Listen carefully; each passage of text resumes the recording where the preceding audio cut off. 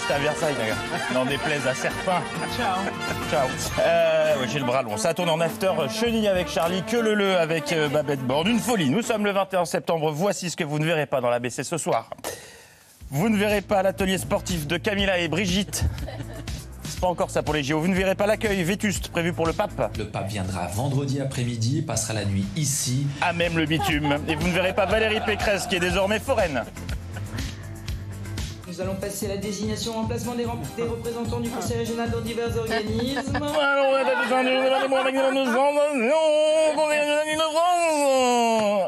À la une de ce jeudi, le dîner à Versailles en compagnie de tout le gratin avec euh, tapis rouge et photocall comme à Cannes, l'occasion de découvrir certains politiques en tenue de cocktail. Et je sais pas pourquoi, mais ça fait bizarre.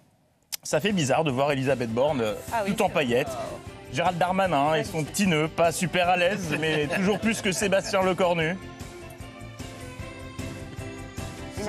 Euh, oui, oui, bah ça va, je sais, je suis en smoking, c'est bon, on va pas. Allez, allez, on expédie. Arrêtez de me prendre en photo, ça me gêne. Et lui aussi était là, fier comme un pan. Trulio Larcher. Avec un petit clin d'œil quand même. Ça lui va bien cette musique What else? Et certains auraient bien aimé en être de ce dîner. C'est le cas de cette membre de la garde républicaine qui était clairement à mi-chemin entre l'agacement et le bout du rouleau. Ah, c'est ça, elle va te balayer du homard. Ah, je te jure. Sérieusement. Elle juge. Alors de mémoire, la dernière fois que des gens qui mangent dans un château avaient autant fait parler, c'était la Starac en 2001. Et pour cette édition 2023 du château, les chaînes info ont tout donné. BFM était très fier d'être au plus près du gueuleton. Ça se passe à quoi? Une centaine de mètres derrière nous. On les a vus défiler juste derrière nous. La Bentley est arrivée, mais juste derrière nous. Quelle chance on a eu. La grille royale qui est, qui est toute en feuilles d'or, qui est à 50 mètres de nous. Charlotte Gainsbourg et Mick Jagger doute- euh, à 20 mètres. Pour BFM TV ici, on est à quelques mètres de ce qui s'est passé. C'est à quelques mètres, de, quelques centimètres même de Laurent Sénéchal que je. oui, ah, oh, ah oui, d'accord. Faire ambiance. De son côté, et c'est une bonne nouvelle, LCI a tiré les enseignements des précédentes soirées électorales. Vous voyez les cortèges, voilà, ils sont sur la route, alors on va pas passer des heures à suivre évidemment les carrosseries et les gyrophares. Merci, enfin, merci de nous épargner du point route en direct pendant des heures. Quatre minutes plus tard. On voit ici les images de l'arrivée du président Macron qui est attendu dans quelques secondes maintenant. Emmanuel Macron dans le convoi, vous apercevez sur l'autre côté de votre écran. On voit juste On le convoi, je vous interromps parce que le Vladimir convoi est en train d'arrêter, d'arriver. On voit ici donc le convoi qui est en train d'arriver. Annule et remplace. Ils ont finalement joué comme d'hab à Valérie Maurice toute la soirée. Alors, quel est l'intérêt de couvrir ce dîner en direct? Eh bien, intérêt majeur à prendre des mots grâce au système d'audio-description mis en place par BFM. Dans cette lumière tamisée, Les verres en cristal. un roi euh, qui pour certains sera à quelques dizaines euh, de mètres, une table, Les fleurs, euh, la, la porcelaine aussi, les plats. quatre verres. Voilà pour cette table dans la, la galerie des glaces. Un stylo, un micro, une fourchette, un ennemi. Et on se souviendra tous de ce qu'on faisait ce 30 septembre à 22h36 quand la nouvelle est tombée. Alors moi, moi j'ai j'ai- j'ai une petite indiscrétion. Apparemment c'est très bon. Merci Benjamin. Ce frichti royal a fait tourner la tête des journalistes qui sont devenus complètement zinzin. Si on m'avait dit qu'un jour on entendrait cette phrase en guise de teasing sur des chaînes info, je n'y aurais pas cru. On imagine qu'il y aura un petit peu de Bordeaux à table. Allez, on vous le dira d'ailleurs dans quelques instants parce qu'on se retrouve sur LCI. Ça doit être l'heure du, du poulet et du gratin champignons en attendant euh, l'ISPA. On, on se retrouve dans un instant pour ce dîner d'État ici à Versailles. Et on cassera évidemment l'antenne lors de l'arrivée de la farandole des euh, desserts. Moment tant attendu euh, de ce dîner, les toasts. Pour préparer le ça, Emmanuel Macron a sorti sa plume, l'a trempée dans son encrier, éclairée d'une bougie qui jouxtait les dictionnaires des métaphores, rimes, assonances et allitérations. Les glaces qui ce soir renvoient votre image ont reflété jadis le visage de la reine Victoria, de George VI, d'Élisabeth II. Et j'aime à penser, quelque part, qu'elle s'en souvienne un peu. Ce mouvement d'oscillation, cette valse hésitation magnétique ont contribué à entrelacer nos destins. Tout ce que l'armée de l'ombre doit à l'accueil de Londres. Cette histoire, Ombre longue. vous en portez la mémoire. Baudelaire. Ah, ça rime c'est pas, dommage. Mais c'est beau, bien sûr que c'est beau. C'est beau, c'est beau. C'est trop, mais c'est beau. Je rappelle que cette soirée était au-delà de répéter, puisqu'ils ont disposé de six mois de rab euh, en plus. Ben, de rab en plus. De rab, quoi. Pour bien peaufiner l'organisation, euh, celle du toast notamment, tout était prévu. Le smoking, le micro, le discours de poète. Ils avaient juste oublié un tout petit détail pour le toast. Je lève donc mon verre en l'honneur de votre majesté, Ah, J'en ai pas, je fais semblant, c'est pas grave. de sa majesté, la reine Camilla, ainsi que de votre famille.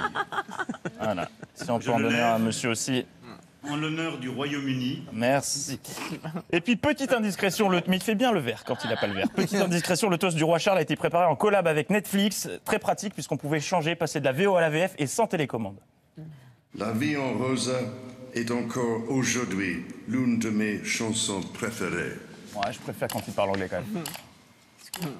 And of course, uh, President Pompidou cities the length and breadth of this beautiful country. Je comprends rien. Dans tous ses efforts, sur le tram et en dehors, après l'incendie que l'a ravagé il y a 30 ans. Non, définitivement, je préfère sa voix originale. It shows us, perhaps, that history is not something to be consigned to a shelf. And today, the king, euh, enfin le roi et la reine étaient au Sénat. Il n'y a pas que dans le sport qu'on se dispute comme des chiens pour les droits de diffusion. Public Sénat était fier, extrêmement fier euh, d'être l'unique diffuseur de cette visite. Quentin, vous êtes le seul journaliste télé avec une Ouais, caméra ouais. dans l'hémicycle. Effectivement, Public Sénat est la seule équipe qui dispose d'une caméra en tribune de presse. Alors, euh, sur la to- le total d'une soixantaine de journalistes accrédités qui sont en train de euh, s'installer, de se Comme des losers, sans caméra, bande de nuls, nulos. Pour euh, l'anecdote, regarde Public Sénat à l'heure où l'on se parle euh, dans les écrans de l'hémicycle. Oh.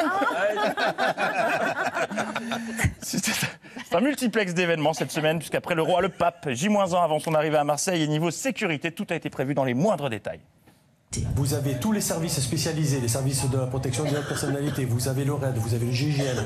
Rien ne doit, ne doit nous échapper. Le Saint-Père va prendre l'ascenseur, il va y avoir un ascensoriste, dans le cas où l'ascenseur tombe en panne. Eh ouais. Vous voyez jusqu'où ça va Ah bah ouais, GIGN, RAID, Otis, on a tout.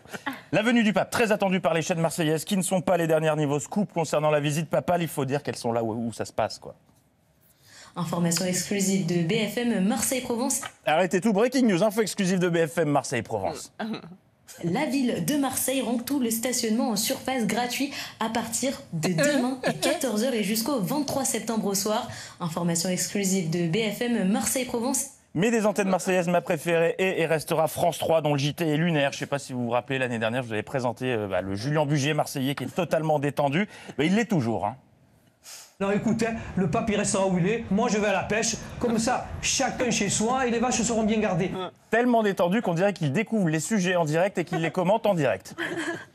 Sur le parvis de la gare Saint-Charles, les voyageurs pressés ne prêtent même pas attention à l'exposition. Ah si quand même, il y en a un. Serait-ce un fan? Je suis pas un fan, fan, fan de rugby, mais bon, c'est un des sports que je regarde le plus à la télé, en fait. Voilà. Peut-être aurons-nous plus de chance avec euh, ce monsieur qui sait?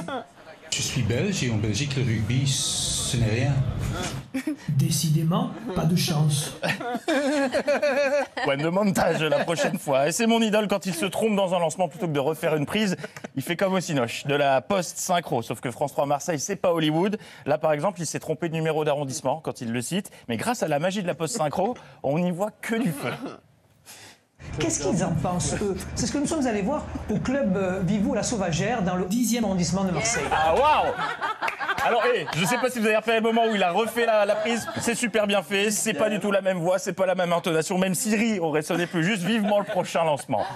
Avant le match contre la France jeudi prochain, l'équipe de l'Écosse a décidé d'ouvrir les portes de son entraînement au Milieu Marseillais. Alors ça se passe au stade Vélodrome dans le 7e arrondissement de la ville. Et pour ceux qui ne savent pas, il s'agit de la Coupe du Monde de football.